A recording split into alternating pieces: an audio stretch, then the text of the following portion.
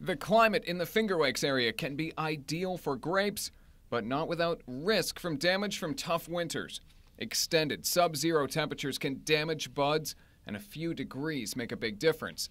Some Seneca Lake wineries are fine, others lost 75% or more of their crop over the past few months. We were down to minus 18 here recorded, and therefore you're concerned not only about the buds, but you're concerned about number one, the uh, the crop you may not get. At Anyela's vineyards in Skaneateles, staff buried most of the vines last fall to protect and insulate them.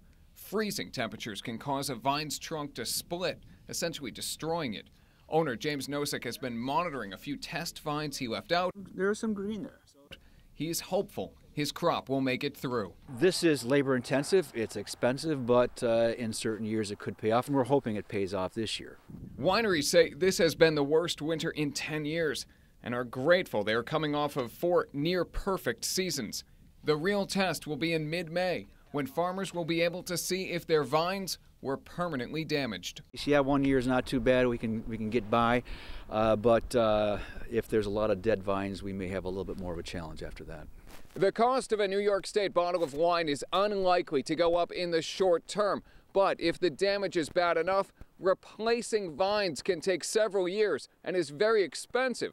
Costs that may ultimately have to be passed on to the consumer. For now, reporting from Skaneateles, I'm Alex Dunbar.